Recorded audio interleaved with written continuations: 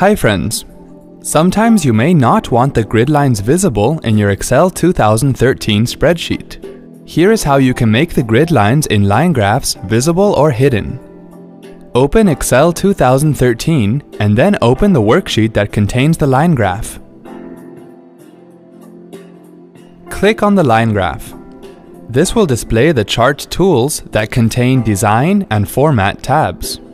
Now click on the Design tab. In the Chart Layouts group, click Add Chart Element. Click on Grid Lines.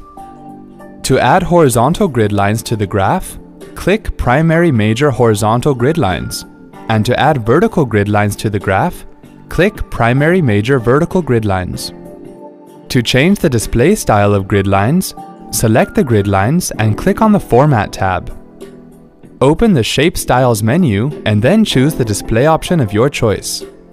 To hide a grid line, click on the plus icon on the top right corner of the graph and then click on the arrow icon next to grid lines. Uncheck the checkbox next to the grid line option that you want to hide. Wasn't that helpful? Thanks for watching.